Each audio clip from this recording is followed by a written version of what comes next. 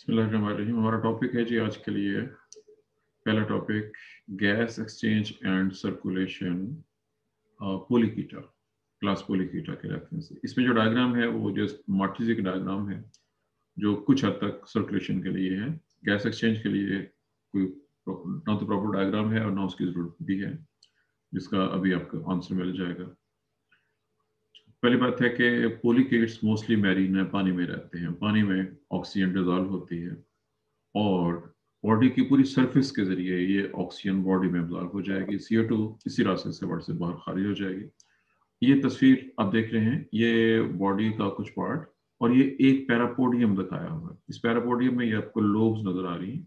इन lobes के ऊपर ये सीटी लगे हुए नज़र आ रहे हैं। इस पैरापोडिया में और इस इनके लोब्स के बनने की वजह से इनका सरफेस एरिया काफ़ी ज़्यादा हो जाता है।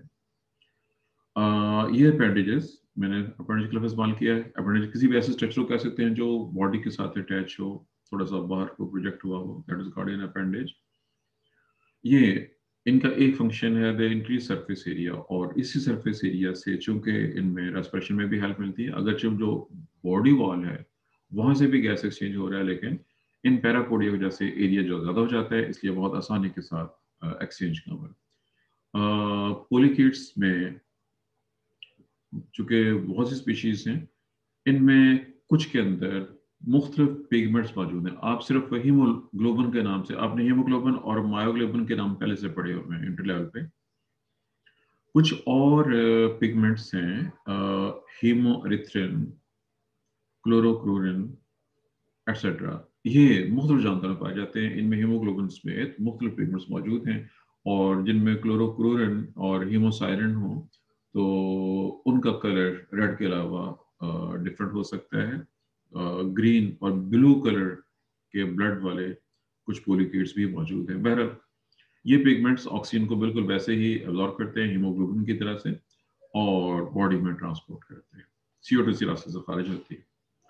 सर्कुलेशन यहाँ जो डायग्राम है, इसमें सिर्फ़ दो चीज़ें इंपॉर्टेंट हैं जी। एक तो ये वेंट्रल ब्लड वेसल और एक ये डॉर्सल ब्लड वेसल और ये ब्लड वेसल आपस में कनेक्टेड हैं। और यहाँ पे इसने पैरापोडिया में कैपिलरीज भी दिखाई है। एक्सचेंज का अमल सिर्फ़ कैपिलरीज के ज़रिए होता है।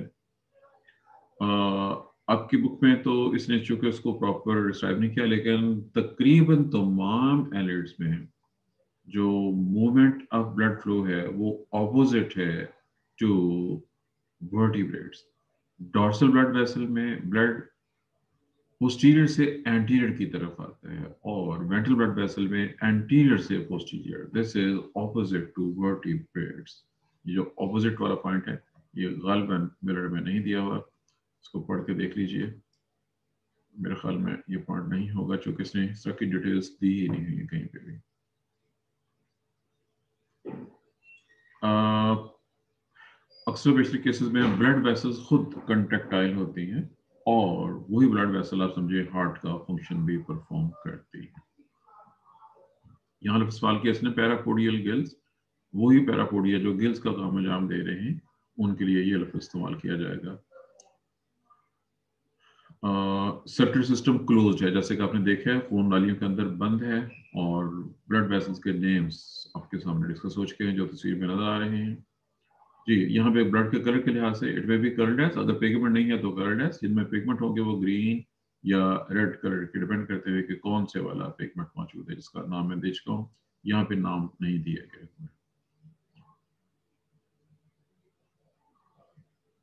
जी, बाकी सब कुछ सेम जो कुछ डिस्कस हो गया, जिसमें और कोई नई चीज़ नहीं है। हमारा अगला हेडिंग है नर्वस एंड सेंसिटिव फ़ंक्शंस और इसमें भी डायग्राम अगले से अगले पेज पे जाके बनेगी ये है जनरल सिस्टम दिरीज की डायग्राम है, इसमें कुछ नई चीज़ें। सबसे पहले इसके कलर पे गौर करना, ये जरा लाइट से पिंक कलर में जो ड्रॉ किया वही इसका नर्वस सिस्टम है। डायग्राम बहुत अच्छी तो नहीं है, लेकिन बहरहाल डायग्राम दी हुई है इसने। और नाम चेक कीजिएगा जी, यहाँ पे कहीं पे। लफ्ज है जी suprapharyngeal ganglion right left side पे दो हैं, दोनों मिलके इसको हम ब्रेन कह सकते हैं। We can call it brain ये दो गैंग्लिया आपस में जुड़े हुए हैं। सुप्राफ्रेंजियल का मतलब है फेरिक्स के ऊपर, यहीं पे सेंसरी प्रोजेक्शंस आपको निकली नज़र आ रही हैं, आसपास बहुत सी हैं, जो कि सेंस ऑर्गन्स के तौर पे काम देती हैं। यहाँ से इधर और इधर दोनों तरफ़ सरकम फेरेंजियल कोनेक्टिव फेरेंस के राइट लेफ़्ट साइड के ऊपर, ये दो कनेक्टिव हैं। कोनेक्टिव नर्व ट्रैक्ट ही कह लीजिए जो कि इन दोनों को नीचे यहाँ पे लेके जा रहे हैं और नीचे जो गैंगलिया है, इनके नाम यहाँ पे इसने लेबल किया हुआ है। और दो तरह के गैंगलिया एक तो जो सबसे, जो फेरेंस के थोड़ा सा नीचे, पीछे की तरफ़ है, उसका नाम है सब फेरेंजियल गैंगलिया इससे ऑनवर्ड बाकी हर सेगमेंट के अंदर इनके नाम है सेगमेंटल गैंगलिया हर एक में सेगमेंटल गैंगलिया और उसकी जमा सेगमेंटल गैंगलिया इसमें से जो साइड्स के ऊपर नर्व निकली हैं, ये लेटर नर्व्स कहलाती हैं। और इनके दरमियान में जो ये ऐसे जा रही है ये वेंट्रल नर्व कॉर्ड कहलाती है। ये लफ्ज इसने लिखा तो नहीं हुआ लेकिन याद रखिएगा ventral nerve cord phylum annelida और फाइलम आर्थ्रोपोडा दोनों के अंदर कॉमन है और इनकी सिमिलरिटीज बल्कि पूरे का पूरा नर्वस सिस्टम सिमिलर है। इन दोनों फाइलम्स का नर्वस सिस्टम तकरीबन एक जैसा ही अब सबसे इंपॉर्टेंट चीज़ यहाँ पे ला के इसने आ, जो इसका पोर्शन है आप कह लीजिए नर्व कार्ड का, उसका टीएस भी दिखा दिया है ऐसा इस, पहले चेक करें कि एक्चुअली नर्व कार्ड दो फ्यूज हो गए एक बनी हुई है। इसमें ऊपर की तरफ़ जॉइंट फाइबर्स और नीचे वाले स्मॉल फाइबर्स मौजूद है। अब ये लफ्ज आपके लिए फ़र्स्ट टाइम है जॉइंट फाइबर्स फाइलम एलिडा और कुछ और जानदारों में, जहाँ पे जॉइंट बड़े साइज़ के, मोटे वाले फाइबर्स मौजूद हैं। ये बहुत खास अहमियत के हामिल हैं और इनमें जो कंडक्शन है नर इम्पल्स की उसकी स्पीड काफ़ी ज़्यादा है। आप लोग पढ़ चुके हुए ह्यूमन बीइंग और मैमल्स के रेफरेंस से कि आपको याद है इंसानों में नर्व इम्पल्स की रफ्तार क्या होती है? सेकंड ईयर लेवल का क्वेश्चन है। Second year chapter 17 sir 1 meter per second दोबारा बताएँ। सर 1 मीटर पर सेकंड जी और कोई जवाब? जी हम इसका जवाब गलत निकला। और कोई जवाब देना चाहते हैं? सर 300 मीटर पर सेकंड भी होती है। ये दोनों गलत हैं आपके पहले भी गलत है, पहले तो बिल्कुल गलत है, दूसरा भी गलत है। और कोई जी? क्लास में फिफ्टी की क्लास में पैंतालीस लोग क्लास में होते हैं, आज चालीस बच्चे मौजूद हैं इस वक्त, लेकिन किसी को भी ये नहीं मालूम, किसी को भी याद नहीं है कि एफ़ में क्या पढ़ा था। पढ़ी भी थी एफ़ के वहाँ भी खाना बुरी की थी। जी, सारे सी मैं तीन बार पहले अनाउंस कर चुका हूँ। आपने अपना माइक ऑन करके बताना है कि आप मौजूद हैं क्लास में कि नहीं वगैरह मैं आपकी थ्रू आउट एब्सेंट लगा दूँगा और आपका नाम स्ट्रकअप कर दूँगा।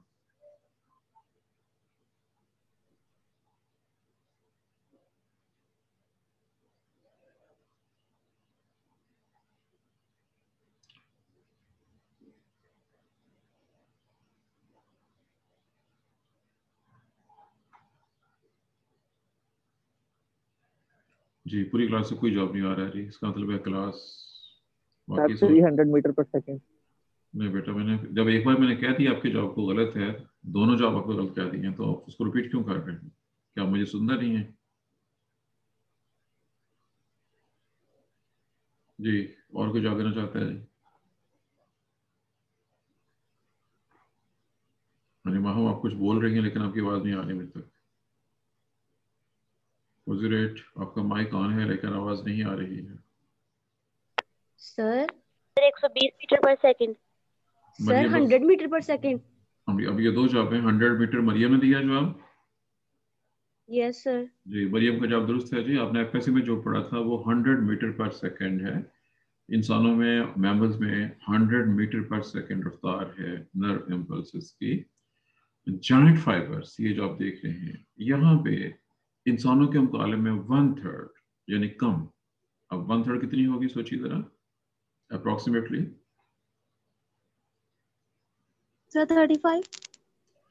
ठीक है अप्रोक्सीमेटली बहरल और जो ये स्मॉल नहीं नहीं बेटा 120 तो बहुत ज़्यादा होगी ये किधर चलेगी आप ये है जी जो स्मॉल फाइबर्स हैं इनमें रफ्तार कम होती है और जो जॉइंट फाइबर्स हैं इनमें रफ्तार ज़्यादा होती है। इसकी एस्केप रिएक्शन ये आपने से पहले पढ़ा हुआ है। एस्केप रिएक्शन जो है वहाँ पे जहाँ जिन जातों में इसके इरोशन बहुत एक्टिव होता है फास्ट होता है, उनमें भी यही जॉइंट फाइबर्स मौजूद होते हैं। फाइलम बरस्का में, इनमें और आर्थ्रोपोड्स वगैरह में। बहर यहाँ पे आपकी बुक ने सिर्फ़ इसके रेफरेंसेस को ज़िक्र किया हुआ है और ये बहुत खास उम्मीद के हामिल हैं इन जानवरों के लिए। पहले ये थी जी ऑल अबाउट नर्व सिस्टम जो तस्वीर की हद तक था अब देखते हैं इसमें रिटर्न में कोई चीज़, कोई काम की चीज़ अगर दी हुई हो let us check leader system explain हो चुका हुआ, इसमें कोई नई चीज़ नहीं है। अगले पेज पे देखते हैं क्या है कुछ। ये है जी इसकी बाकी डिस्क्रिप्शन ये डिस्क्रिप्शन एक्सप्लेन होगी हुई है। सेगमेंटरीज जो सेगमेंटल के लिए हैं, वो अपने अपने सेगमेंट की हद तक कंट्रोल करते हैं, जबकि जो ब्रेन है, यानी सुपराफिजियल गैंग्लिया वो ओवरऑल पूरी बॉडी को कोऑर्डिनेट और कंट्रोल कर रहे होते हैं। जी, यहाँ पे इसने स्मॉल डायमीटर फाइबर के साथ साथ ये जो जॉइंट फाइबर्स हैं, उनका ज़िक्र ये जी जॉइंट फाइबर्स और ये एस्केप रिएक्शन एस्केप जब को खतरा हो तो उस वक्त जो ब्रेन से मैसेज आता है फौरी तौर पर, ताकि बॉडी फौरी तौर पर रिएक्ट कर सके। अब यहाँ पे इसने दो चीज़ें दी हुई हैं, एक उसका साइज़ दिया हुआ है। इन का जो डायमीटर है जॉइंट फाइबर को 50 माइक्रोमीटर है। और इनमें जो कंडक्शन की स्पीड है, वो तकरीबन 30 मीटर पर सेकेंड है। और स्मॉलर फाइबर में it is just 0.5 meter per second उनका डायमीटर 4 माइक्रोमीटर होता है। ये बिल्कुल ऐसे ही है जो बिजली की बारीक तारें होती हैं, उनमें से ज़्यादा करंट फ्लो नहीं हो सकता और जो मोटी तारें होती हैं, उनमें से ज़्यादा करंट फ्लो हो सकता है। बिल्कुल बिल्कुल ऐसे ही जॉइंट फाइबर्स खासियत के हामिल है जी, मेरे ख्याल में ये बैक पेज पे कुछ और भी होगा इसका।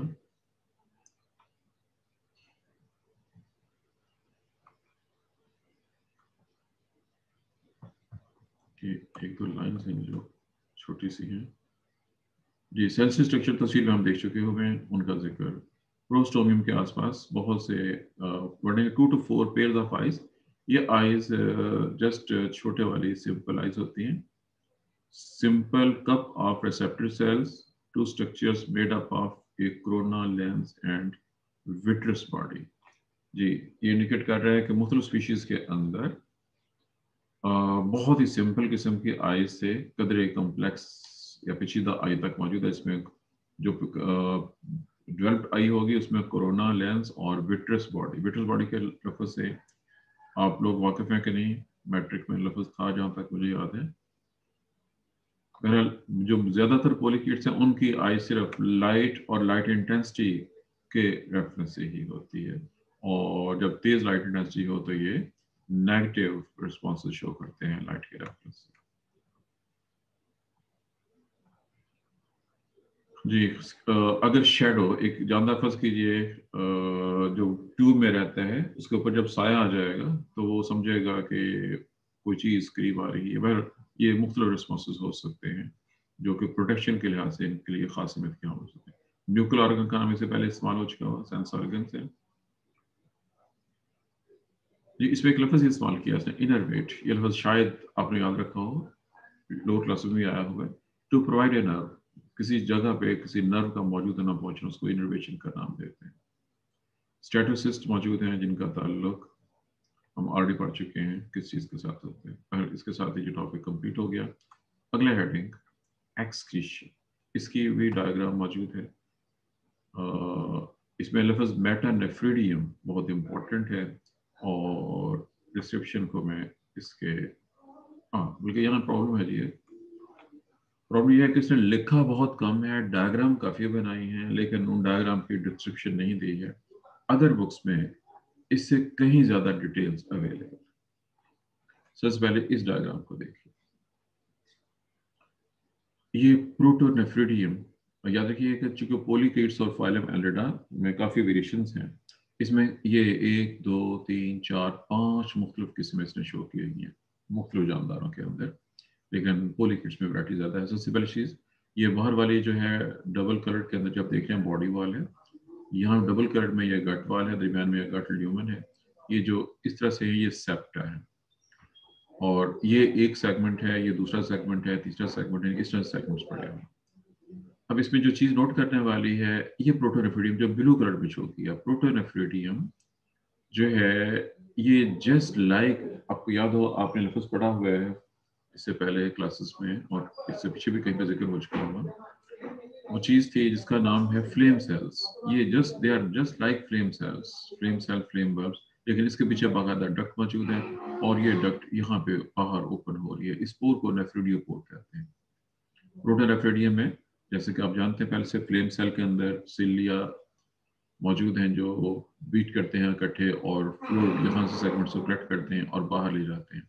यहीं पे साथ गोनोडक्ट भी दिखाई है पहले ये प्रोटोरेफ्रेडियम है, याद रखिएगा, हर सेगमेंट में एक राइट पे, एक लेफ़्ट पे, और सेगमेंट कलेक्ट करते हैं एक से और खारिज करते हैं दूसरे सेगमेंट से होते हुए बाहर की तरफ़।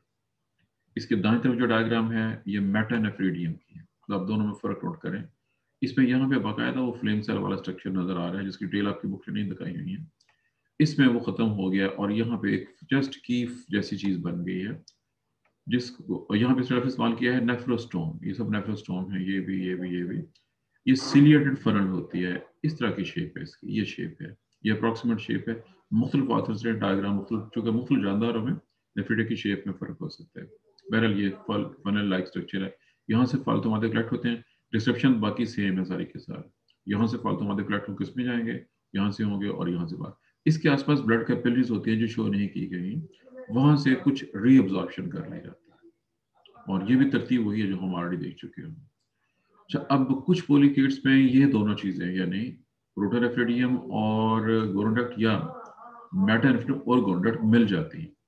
अगर अगर प्रोटोनेफ्रिडियम और गोरोडक्ट मिल जाए तो इसको प्रोटोनेफ्रोमिक्सियम का नाम देते हैं। अगर ये और ये दोनों मिल जाए यूजली तौर पर, जैसे इसमें हुआ है, ये, या मुकम्मल तौर पर, जैसे यहाँ हो चुके हुए ये दोनों फ्यूज हो गई तो इसको सेगमेंटल ऑर्गन का नाम देते हैं। ये दोनों काम अंजाम देगी। यानी एक्सक्रीशन का काम भी और गोनोड का काम स्पर्म या एक्स को बड़े से बाहर ट्रांसफ़र करना होता है दोनों काम से लिए आखिरी डायग्राम इसने एक नेफ्रीडियम को बड़ा करके दिखाया हुआ है। जी, इसकी याद रखिएगा कि जो डायग्राम इसने दी हुई है, ज़रूर नहीं है कि अदर जानदारों में ऐसा ही हो डिफरेंस हो सकता है। ये ब्लड वेसल है। ये नेफ्रोस्टोम है जो फनल लाइक है इसके करीब ये गुनेड लोकेट कर रहे हैं और उसकी डक भी नज़र आ रही है। इसके पीछे इसका सिक्रेटरी पोर्शन है, जो कि यहाँ भी ब्लड वेसल्स मौजूद हैं और आगे ब्लड है जहाँ यूरिन कलेक्ट होगा और फिर एक्सटर्नल ओपनिंग जिसको नेफ्रिडियोपोल कहते हैं, यहाँ से यूरिन बॉडी से बाहर खारिज हो जाएगा ये डिस्क्रिप्शन नोट कीजिएगा। बुक में डिस्क्रिप्शन नहीं दी हुई है, सिर्फ़ डायग्राम दी हुई है। ये इसने जस्ट ये वाला चेक कीजिएगा। ये जस्ट इतना सा लिखा हुआ है इसमें। मैंने डिस्क्रिप्शन आपके सामने एक्सप्लेन कर दी है। ये अदर बुक से ली गई है। जो डिस्क्रिप्शन मैंने एक्सप्लेन की है, ये आपकी बुक में वो ना तो नाम है और ना उनकी डिस्क्रिप्शन है। मैंने डिस्क्रिप्शन को आपके सामने एक्सप्लेन कर दिया है। अभी हमारे पास मजीद टाइम है कुछ थोड़ा सा। जी, यहाँ तक तो कोई क्वेश्चन हो तो आप पूछ सकते हैं अदरवाइज़ मैं इसको लेके आगे जा रहा हूँ। यहाँ पे इसने मोटी लाइंस के अंदर कुछ लिखा हुआ है चेक कीजिएगा। If presented with extremely dilute seawater cannot survive the osmotic influx of water Sir? and जी एक मिनट जी मुझे ये पूरा कर दें आप इसको। मेरीन पोलिकीट्स को अगर dilute sea water sea water में 3.5 परसेंट सॉल्ट है अगर उसको डाइल्यूट करके दिया जाए तो ये सर्वाइव नहीं कर सकते। ये बहुत इंपॉर्टेंट पॉइंट और ये भी याद रखिएगा मेजॉरिटी जानदार जो सी वाटर में रहते हैं, वो फ्रेश वाटर में नहीं रह सकते। जो फ्रेश वाटर वाले हैं, वो सी वाटर में नहीं रह सकते हैं। इसका मतलब है कि जानदारों ने अपने आपको अपने माहौल के मुताबिक एडजस्ट किया हुआ है। यहाँ एक और फ़िक्र भी। है efficient osmoregulatory abilities has allowed only a few polychaetes to invade fresh water. सिर्फ़ चंद एक पोलिकेट्स जो फ्रेश वाटर में रहते हैं, जो कि लो यानी हाइपोटोनिक सोल्यूशन में रह सकते हैं। मेजॉरिटी नहीं रह सकती है। पहले ये था जी एवोल्यूशन के पॉइंट ऑफ़ व्यू में। जी कौन सवाल पूछ रहा था जी? क्या पूछा था? आप बताइए।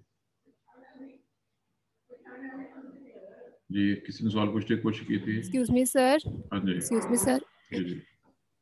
एक्सक्यूज आवाज़ आ रही सर मेरी? हाँ जी जी अब आवाज़ आ रही है। सर मैं फोर ज़ीरो थ्रू थ्री हूँ। हाँ जी बिल्कुल। ये सर मैं फोर ज़ीरो थ्री हूँ सारा। जी मैंने कम से कम चार बार अनाउंस किया है आपने अब आके कंडक्ट किया है। इससे पहले आपके माइक को क्या हुआ सर मैं आपको बताती हूँ। नहीं सर मैं आपको बताती हूँ। सर मेरे दरअसल ना लैपटॉप के साथ फ़िज़िकल माइक कनेक्ट होता है। तो जब आपने मुझे बुलाया ना तो मैं माइक ढूँढने चल गई और मैं ड्रा से माइक मिल ही नहीं रहा था। अब माइक मिला तो मैंने कनेक्ट करके आपको